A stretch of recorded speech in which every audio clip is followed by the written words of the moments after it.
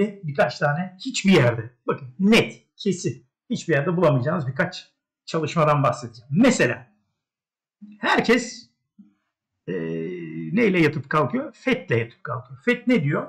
Faiz arttırımı olacak. Evet herkes biliyor faiz arttırımı olacağını. Nereye kadar olacak? Nerede duracak? Nasıl olacak? Piyasalara yansıması ne olur? Bunların hepsini ben e, yıllardır aslında bu tarz çalışmaları çok yaptım. Yıllarca yaptım ve harika sonuçlar aldım. Zaten beni izleyen arkadaşlarımızın birçoğu bunu biliyordur. E, bu noktada gerçekten e, temel analiz çerçevesinde bakın. Yani e, ben aynı zamanda e, teknik analiziyim. Yani teknik analiz yapıyorum. Yıllardır birçok kurumda e, üst düzeyde de yöne, e, görevler aldım. E, hep araştırma tarafında oldum. E, brokerlık, tahta brokerlık belgem vardır. Mesela hatta ta, son tahta brokerlardanım ki orada da e, işlem yapma e, imkanım oldu. E, elektronik sistem veya tahta brokerlık tarafında. E, hemen hemen birçok e, tarafta çalışmalar yaptım. Araştırma her zaman ilgimi çekti ve farklı araştırmalar yaparak kendimce bir takım sistemler, yöntemler geliştirdim. Bunları da yapıyorum. Mesela Türkiye'de ortada hiçbir şey yokken, faizler %7'lerdeyken, enflasyon %7-8'lerdeyken, enflasyonun %100'lere gidebileceğini söyleyen bir kişi olarak bunu söylüyorum 5-6 yıl önce. Doların birlerdeyken, bir buçuklardayken 5-6'lara gidebileceğini söyleyerek. Bunların hepsini tabii e, bir hatırlatma olarak söylememin sebeplerinden bir tanesi de şu. E, borsanın mesela 5 dolardan 1 dolarlara gelebileceğini, yıllarca toparlayamayabileceğini. Bunların hepsini aslında görmüş olduğunuz şu temel e, analiz değil. Grafikler, temel verileri grafiklere çevirerek yapmış olduğum yorumlardan yola çıkarak bahsettim, çalıştım, anlattım, yıllarca paylaştım. Mesela 2018-2019 yılında enflasyon borsayı sever, e, e, Allah'ını seven, canını seven defansa gelsin vardır ya e, gezi olaylarında. Bu tarz tabii e, işin esprisi. İlgilenen herkes hisse senedi alıp atmalı diye söylediği günlerden bugüne geldiğimizde gerçekten benim de şaşırdığım, beklentim çok çok üzerinde çok güçlü günler. Yani tabii ki 4000 seviyesini endekste 4005 seviyesini beklediğimi biliyorsunuz. Bunu söylemiştim ama ben 3-4 aydır takıldım. Kendi e, bir takım özel sebeplerimden dolayı da e, piyasadan bazen koptuğum oldu. Bazı e, her insanın yaşamış olduğu e, sıkıntılı, iyi günler yaşıyoruz, yaşayacağız. Çünkü sonuçta insanız. Yeter ki sağlık olsun. Dolayısıyla bu dönemde bir e, kaçırdığım zaten e, piyasayı biliyorsunuz. Ama olabildiğince her gün paylaşımlarımı yapıyorum. Adapte olma sorunu gerçekten çok önemli. Objektif olabilme sorunu çok önemli. E, Tanrı'nın bize vermiş olduğu ne diyor? İnsanı diyor zayıf yarattık, nankör yarattık diyor mesela bazı kutsal kitaplarda. E, o zaman adaletsizlik oluyor. Bazıları güçlü iradeli, bazıları bakın konuyu yine dağıttım. Çok dağıtmadan tekrar geliyorum. Unutun her şeyi. Bu grafikte görmüş olduğunuz şey arkadaşlar bakın Amerikan Merkez Bankası FED politika faizi mavi. Amerikan TÜFE endeksi turuncu. 10 yıllıklar gri, 5 yıllıklar sarı, 2 yıllıklar açık mavi. Şimdi bunların çok fazlasıyla Excel'de çok detaylı bir şekilde çalışma yaparak geç, geçtim. 1999 yılı, 1980'lere kadar geldim ama 1999'dan itibaren anlamlı olduğunu gördüğüm için burada kendi çalışmamı yaparak bunların hepsini grafiğe döktüm ve bu grafik üzerinden de size hiçbir yerde bulamayacağınız bu bakış açısı. Yani bizde maalesef e, farklı bakış açısı yok. Birileri çalışır, ortaya bir şey atar, herkes onun üzerinden nemalanmaya çalışır. Herkes onun üzerinden gider. Löpçüyüz daha doğrusu arkadaşlar. Hazıra hemen geliriz. Ee, hazır varsa alırız. Hisse senetlerinde de böyle. Abi ne hisse var ne alayım. Kriptoda da öyle. Abi ne alayım? Abi ne satayım? Abi aldım elimde kaldı. Abi şunu alayım mı? Herkes hazır. Yani yanlış anlaşılmasın. Herkes demek saçma olur. Ama büyük bir kısım artık yavaş yavaş eğitim almaya başladı. Eğitimleri e, anlamını fark etti. E, eğitim almayın diyen üstadlar da var ama onlar e, açıkçası farklı nedenlerle diyorlardır diye düşünüyorum. Çünkü eğitimsiz hiçbir şey olmuyor arkadaşlar. Kendinize yatırın burada en önemli şey. Evet görmüş olduğunuz bu e, grafikte şunu yorumluyoruz. FED faiz arttırımı nereye kadar sürdürecek? Şimdi bunun karşılığı grafikte anlatacağım. 10 yıllık e, faizler, 5 yıllık, 2 yıllık faizler üzerinden tüfeği e, endeksi, çekirdek endeksi dikkate alarak da yapmış olduğum bu çalışmada 1999 yılından bugüne kadar o anki süreçte bakın maviyi zaten görürsünüz. Turuncu ile maviye odaklanarak gidebiliriz burada. Şimdi şu durumda Fed'in e, Fed faizleri nereye çıkarttı? 4'e çıkarttı. Peki e, tüketici fiyatları ne? 8.6'larda değil mi? Yani 9'a yakın. Neredeyse bu oran arkadaşlar Haziran ayında Haziran ayında Amerikan Merkez Bankası Amerikan Merkez Bankası e, politika faizi nerelerde ise 0.75 birler civarındaydı değil mi? Enflasyon kaçtı? Yıllıkta neredeyse enflasyon e, aylık bazda e, pardon yıllık bazda 8'lere gelmişti. Hatta 8.9'u mu gördü yanılmıyorsam. İnanılmaz bir makas oluşmuştu. Yani şunu söylemek istiyorum. Bakın mesela e, şu mavi 1900 pardon 2000 yılında mavi Amerikan Merkez Bankası Fed'in politika faizi kaçmış? %6.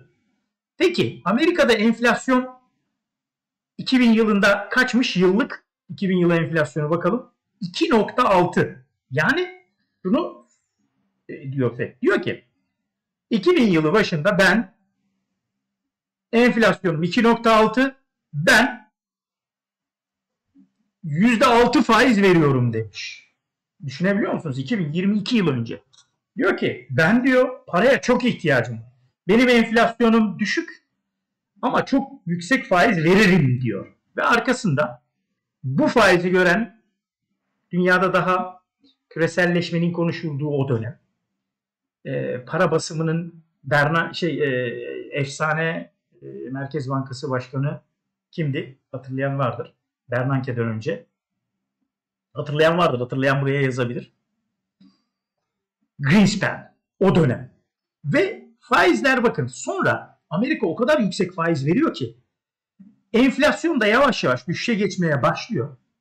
2001 yılında bakın 2001 yılına geldiğimizde enflasyon tepeyi buluyor 2.8 ama otorite diyor ki ya biz çok yüksek faiz veriyoruz ve sonra bir yılda neredeyse Amerika Merke, Amerikan Merkez Bankası faizleri 6'dan 1.75'e düşürüyor.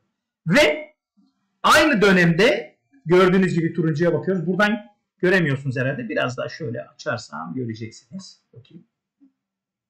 Evet süper. Biraz daha açayım. Biraz daha getireyim. Şu. Şu tepe çok inanılmaz bir fazla faiz veriyor. Pozitif faiz.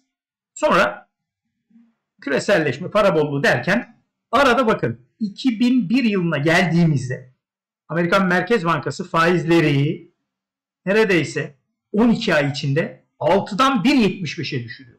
İnanılmaz bir düşüş. Sonra enflasyon da bakın süreç çerçevesinde zaten yılların zirvesinde enflasyon ve tüketici fiyatları da aynı dönemde düşüşe geçiyor. Zaten Greenspan'in veya Bernanke'nin e, sonraki dönemlerde geçtiği süreci zaten konuşacağız ama burada öngörüyle hareket ederek e, politika faizini düşürmeye başlıyor. Aynı zamanda enflasyon düşüyor. Yani enflasyonun düşeceğini öngörerek e, FED faiz indirimine gidiyor ve arkasından bakın enflasyon da neredeyse 2003 yılına geldiğimizde enflasyon Amerika'da yüzde 1.1 politika faizi yüzde 1. Yani yaklaşık 2001 2003 yılları arasında şu bölgede Amerikan Merkez Bankası artık negatif faiz vermeye başlıyor. Uzun bir süre gidiyor ama sonrasında e, yine aklı selim bir ekonomi yönetimi, işi bilen adamlar diyorlar ki bu böyle gitmez. Bir anda faizler artmaya başlıyor. Bir ara görüyorsunuz. Faiz ve faiz ve e, enflasyon aynı gidiyor. Bir süre sonra faiz e, aradaki farkı diyor ki yani bu sıkıntıya gidiyor diyor. Sıkıntıya gidiyor. Ben faiz arttırmalıyım diyor. Amerikan Merkez Bankası faiz arttırıyor. Bakın bir ara eksiye geçmişti. 2001-2003 arası eksi faizler. Bu aradan sonra faiz ekonomideki sıkıntının artabileceğini düşünerek FED faizleri arkadaşlar 2006'ya geldiğimizde 5.25'e yükseltirken politika faizi pardon özür dilerim. Enflasyon 2.6. Bakın enflasyon 2.6 politika faizi 5.25. Yani bu şu demek. Diyor ki FED ben e, bana para lazım ya da enflasyonu kontrol altına almak zorundayım. Faiz yükseltiyor. Ve sonra ne oluyor? Bakın ondan sonra işte o küresel paranın adeta artmaya başladı. Ee, Bernanke'nin Greenspan'den sonra Bernanke'nin yönetime geçerek para dağıtmaya başladı, başlaması. Burada da tabii ki demokratların ekonomi yönetimi, Obama'nın ekonomi yönetimine geçtiği süreç e, Clinton sonrası Bush dönemiydi. Sonrasında bakın maviye bakın şuraya arkadaşlar. Nereye geliyor arkadaşlar? Bakın şu noktada o kadar önemli ki adamlar önceden enflasyonun şurada yükselebileceğini düşünerek enflasyondan önce hareket ederek faizleri çok hızlı bir şekilde arttırıyorlar. Ki 2001 yılındaki 2.8'in üzerine çıkmasın.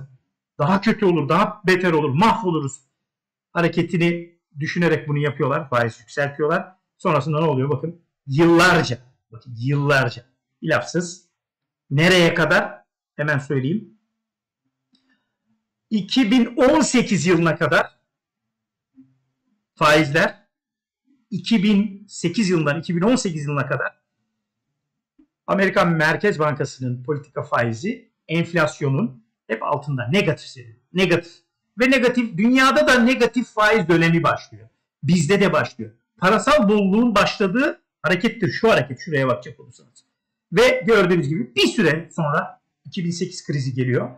Kriz etkisiyle birlikte talep bazlı enflasyon neredeyse arkadaşlar bakın kaça düşüyor. Eksiye gelecek neredeyse. 0 0.8'e geliyor. Peki o tarihte Amerika'da e, politika faizi ne? 1.22. Yani ister istemez daha yüksek faiz vermiş oluyor FED. Sonrasında şimdi buradan yola çıkarak çok daha detaya girmeyeyim. Çok daha boğmayayım sizi. O zaman şöyle bir şey çıkıyor. Demek ki FED şu son 5-6 aydır almış olduğu kararla faiz arttırımları çok yerinde, çok normal. 2000 hemen söylüyorum 2003 yılındaki negatif faiz döneminden, 2001-2003 yılındaki negatif faiz döneminden sonra 2003'ten 2006'ya kadar olan süreçte sürekli faiz artırımda oluşuyor. Negatif faizden inanılmaz bir pozitif faize geçiliyor. Ama arkasından bu e, hamlenin karşılığını alıyor ve faizler tekrar negatife geçiyor enflasyonun altına geliyor. Kontrol altına alıyor ve yıllarca da bu kontrolde gidiyor. Hiç kimsenin sıkıntısı yok burada. Gayet her şey güzel gidiyor. 2008 krizi olmasına rağmen bu gayet işliyor. O zaman peki anki duruma bakalım. Sonuca gelelim. Bunu e, bu tarz çalışmaları sık sık yapıp paylaşan mesela bizdeki büyüme verisi, enflasyon verisi, borsaya yansıması, sanayi üretimi, efendim söyleyeyim, cari açık, bütçe açığı. Bunların hepsini yorumlayacağım. Bundan sonra bu tarz yorumlar yapacağım e, faizler tarafını bizim enflasyon tarafından nasıl yapıyor biliyorsunuz. E, bu tarz çalışmaları daha önceden yapıyordum. Bunu her şey için yapabilirsiniz, yapabiliriz. Ve sonunda bakın şöyle bir şey var.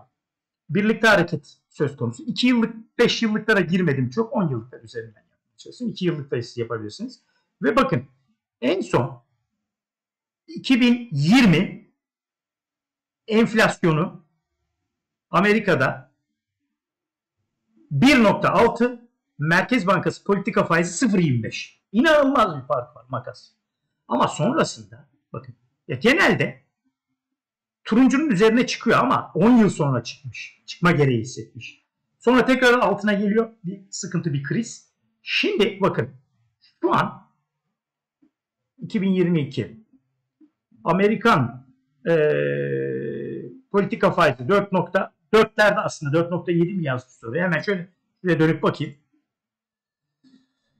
FED politika faizi 4. Evet 4. Hemen şöyle alayım. Şimdi buradan bir şey bir çıkarımda bulunacağız. 4. Evet. Acaba FED şu an 4 ise politika faizi geçmiş yıllarda eksiden artıya geçip hatta daha üzerine çıkacaksa o zaman FED şu anki enflasyona bakıyoruz 6.6. O zaman 4'te ise daha e, kaç? E, 260 300 bas puan faiz arttırması mı gerekir? Böyle bir durum ortaya çıkıyor. Eğer 260 300 yani 250 300 bas puanda faiz arttıracaksa FED yani e, 4 tane daha ne yapması lazım? 75 yapması lazım. E böyle yaparsa bunları dolar endeksiyle de ben karşılaştırıyorum, yorumluyorum. Dolar endeksi üzerinden de. O zaman dolar endeksi nereye gider? Dolar endeksi o zaman şöyle dönüp bir bakalım.